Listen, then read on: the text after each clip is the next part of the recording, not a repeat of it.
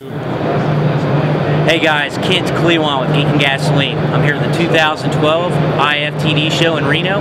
Today I'm here with Jim McAllister with NRS Boats. They've got a really hot new boat on the market called the Clearwater Drifter. Jim's going to talk about uh, the features of the boat and how he's a brainchild behind this visionary boat.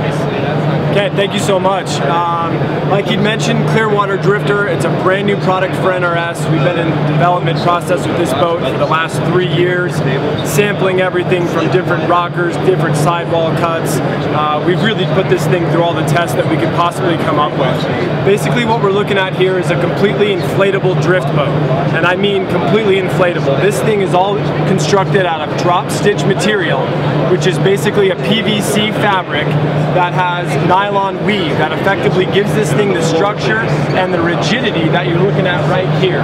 Basically what we have going on with this boat is a 17 foot drift boat that you can roll up and ship UPS.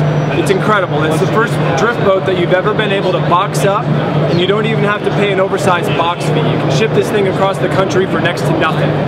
One of the best features about this drift boat is that it's a self-bailing. As you can see right here in the center, we've got a self-bailing hole that will effectively allow all the water, based on the way that the rocker shapes the boat, to run out as you take waves in. That's going to allow the guy who wants to run some whitewater and needs to fish in some places where it maybe gets a little bit rowdy in the spring to be able to run their drift boat. The other benefit of running a drop stitch drift boat is that effectively this thing sits in two inches of water. With three people in the boat, correct? With three people in the boat, it's only got two inches of the bottom in the boat. So for everyone who's, you know, anywhere in the country, and that's most of it right now that's in a drought situation, this is your boat. Effectively, you're able to run this thing in next to nothing. As you can see here, it's a four inch sidewall. The floor is created out of a six inch drop stitch material. So that really creates a high flow when you're running down the river. Yeah, that's great.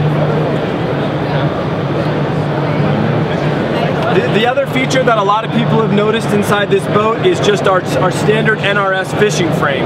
One of the best things about our fishing frame is that it's completely modular. As you can see, when I say modular, what I'm talking about is effectively everything on this boat is 100% adjustable. So if you're a guy who likes to go fishing with a buddy or two, maybe they're not the exact same size as you are, when it's somebody else's turn to jump on the sticks, you can simply adjust your foot bar and your oar stands.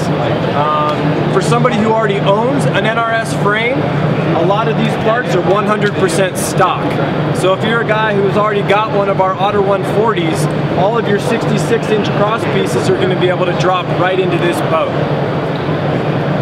This is a great boat. We're really excited about it. I know I am from where I live, where I have very low flows on my tailwaters. For more information on the Clearwater Drifter, please visit nrsweb.com. That's nrsweb.com. Jim, thank you so much. Thank you so much for coming Thanks by. for tuning in with Gink and Gasoline.